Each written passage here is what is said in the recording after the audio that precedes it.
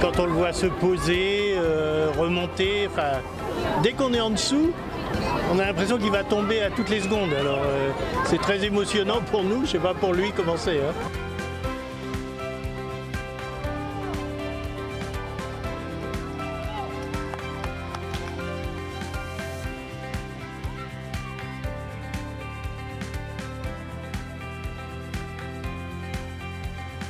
C'était magnifique euh, de partager ça avec tous les gens qui étaient là. C'était assez étonnant. Je pense que c'était ma traversée avec le plus de public. Et vraiment un bel élan. Euh, voilà, c'est un peu un rêve hein, de partir de la Tour Eiffel, arriver sur le théâtre de Chaillot. c'était génial. Euh, j'avais beaucoup imaginé la traversée et puis être, c'était bien. C'était pas évident parce que ben, marcher 600 mètres, se concentrer avec tout ce qui est autour, la pression, c'était pas facile.